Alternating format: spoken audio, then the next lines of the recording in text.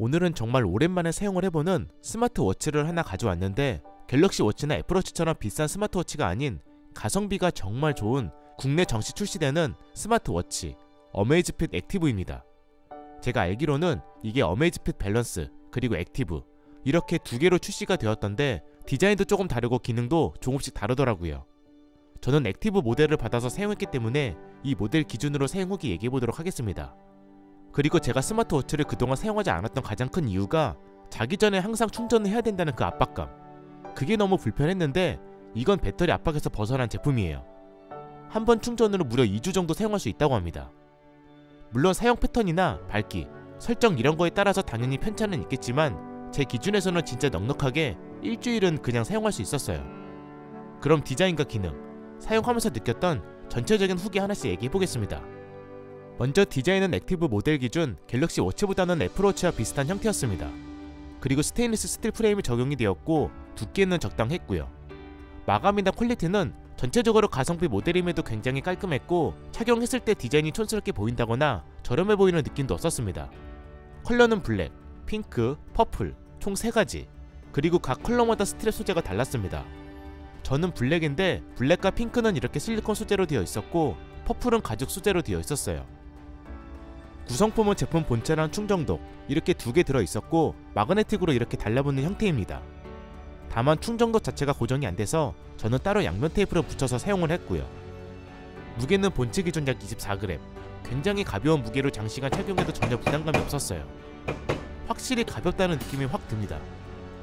오른쪽에는 전원 버튼 및 홈 버튼, 왼쪽에는 스피커 홀, 밴드도 여기를 밀어서 쉽게 탈부착 가능했어요. 제 손목 둘레는 약 16cm인데 손목이 얇은 편이라 사이즈는 적당해 보였지만 손목이 두꺼운 분이라면 살짝 작다는 느낌이 들 것 같기는 합니다. 이건 참고만 해주세요.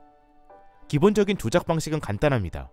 다른 스마트워치와 거의 동일한 방식으로 작동을 하는데 우측 홈 버튼을 눌러서 메뉴 화면으로 이동할 수 있었고 길게 눌러 따로 설정한 기능을 실행을 하거나 좌우로 swipe 하면서 다양한 정보와 기능을 실행할 수 있었습니다.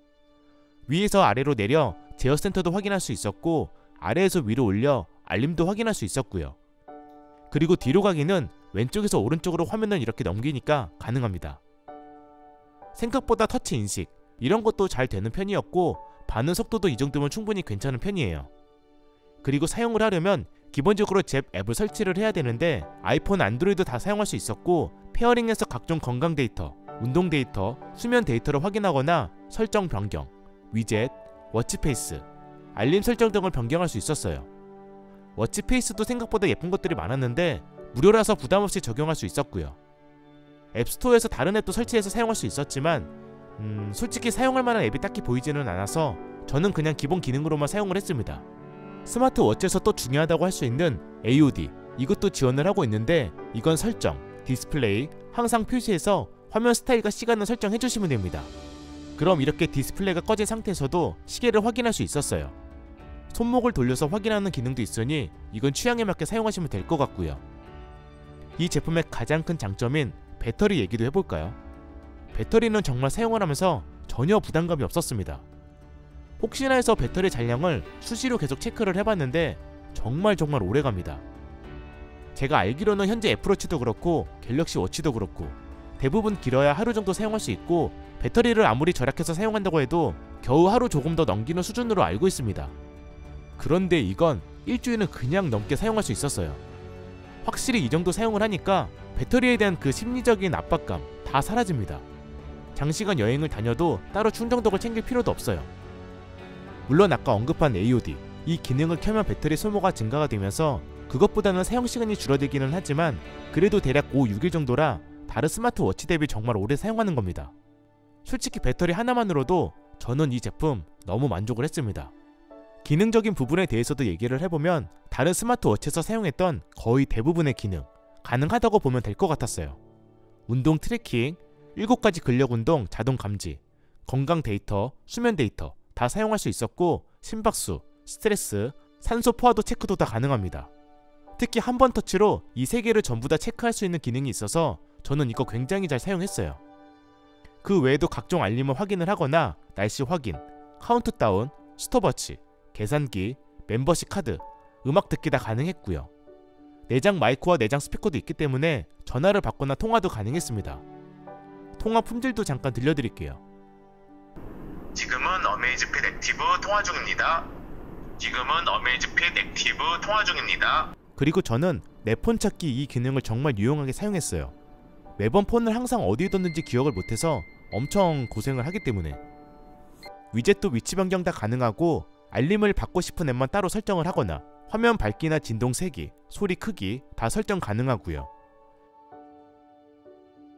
그래서 이런 기능들은 사실 다른 스마트워치에서도 대부분 다 지원을 하고 이 제품 또한 거의 다 지원을 하기 때문에 아마 기능에 대한 큰 불편함은 없을 거예요.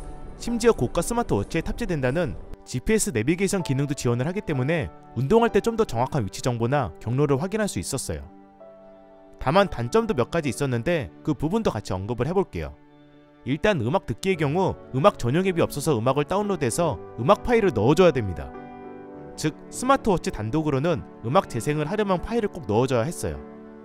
저야 스마트폰을 항상 가지고 다니기 때문에 단점으로 느껴지지는 않았지만 가볍게 워치만 착용한 상태에서 음악을 듣고 싶은 분들은 단점이 될 수 있겠죠. 그리고 다른 스마트워치처럼 셀룰러 모델이었기 때문에 어찌됐든 스마트폰과 항상 연동해서 사용을 해야 되는 모델이라는 점. 제 기준에서는 딱 이렇게 두 가지 정도 단점으로 느껴졌고 나머지는 거의 다 만족을 했습니다. 심지어 이 제품 현재 가격이 약 18만 9천원. 이 가격에서 이 정도 기능과 배터리 성능, build quality면 너무 가성비가 좋다라고 느꼈습니다. 무엇보다 배터리에 대한 압박감 때문에 스마트워치를 꺼려했던 분들은 이거 정말 괜찮다고 생각이 되었고요. 그래서 아까 언급한 단점들이 나에게는 굳이 단점으로 느껴지지는 않는다. 그런 분들은 입문용 스마트워치로 딱 적당한 제품인 것 같았고 스마트워치 고민 중이신 분들은 이 제품도 한번 고려해보면 좋을 것 같습니다. 확실히 스마트워치는 배터리 사용 시간이 정말 중요한 것 같아요. 너무 편합니다. 그럼 시청해주셔서 감사합니다.